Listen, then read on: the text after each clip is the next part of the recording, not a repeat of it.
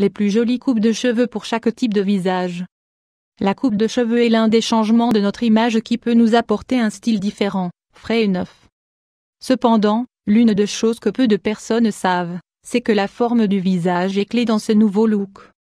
Si certains stylistes savent très bien faire leur travail, parfois, nous faisons de mauvais choix et même si la coupe est très bien réalisée, elle ne nous va pas. Heureusement, il existe des astuces simples pour distinguer quelle est celle qui nous met le mieux en valeur selon les traits qui caractérisent notre visage.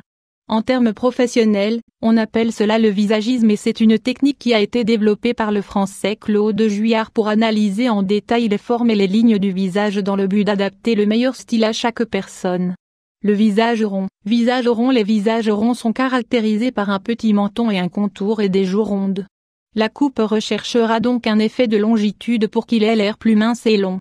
Pour l'obtenir, on peut lui donner du volume sur la partie supérieure, en coupant les côtés ou en choisissant une frange balayée d'un côté.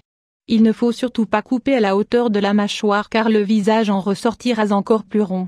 Si vous optez pour une coupe courte, le mieux est d'essayer d'allonger les contours proches des oreilles. Si vous portez les cheveux attachés, il est conseillé de laisser tomber quelques mèches sur les côtés sur apporter un aspect allongé. Le visage ovale. Visage ovale considéré comme le canon de beauté par excellence pour ses dimensions, le visage ovale a l'avantage de s'adapter à quasiment tous les styles.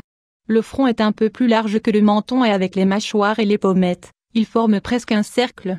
L'une des clés qu'il faut connaître dans ce cas, c'est que la frange ne doit pas être trop longue et droite car cela pourrait réduire la longueur du visage. Avoir l'arrêt au milieu et un peu de volume est idéal pour un style naturel, minimaliste et original. Les plus téméraires peuvent opter pour le style mohawk qui consiste à porter les cheveux très très courts avec un balayage sur le côté. Le visage carré, visage carré plus d'un contour et d'une mâchoire carrée, ce type de visage est plus large et apporte une sensation de dureté. Pour créer des contours ovales, on peut utiliser des brosses et des pinces qui apportent un effet de volume. Les femmes qui ont les cheveux longs peuvent opter pour laisser tomber des mèches ou des frisettes sur les côtés pour recouvrir la zone anguleuse. La coupe la plus conseillée est à la hauteur des épaules ou un peu plus court. Il n'est pas conseillé que la coupe se termine au niveau de la ligne de la mâchoire car le visage aura l'air encore plus large. Le mieux est de conserver un style asymétrique, avec un côté plus long que l'autre et une large frange. Le visage allongé. Visage allonge Les femmes dont le visage est allongé peuvent opter pour un look naturel qui leur permet d'obtenir un effet de largeur. En général, ce sont des visages minces et sans trop d'angles ce que l'on peut dissimuler en utilisant une frange et une coupe qui ne dépassent pas les épaules. Ici, il ne faut pas coller les cheveux au visage, car il aura l'air encore plus mince et long. Mieux vaut rajouter des couches, des frisettes ou des ondulations. Les styles aux couches longues diminueront la longueur de l'ovale et offriront du volume aux côtés. Si les cheveux ne sont pas frisés, mieux vaut que la coupe n'aille jamais au-dessus de la mâchoire. Le visage en cœur. Visage cœur Le visage cœur est le visage de forme triangulaire, au front large et qui s'affine vers le menton. La coupe qui le met le mieux en valeur est celle qui porte une frange sur le côté, puisque l'objectif principal est de cacher la largeur du front. Les couches longues qui débutent sous les pommettes et l'arrêt au milieu ou sur le côté lui vont bien.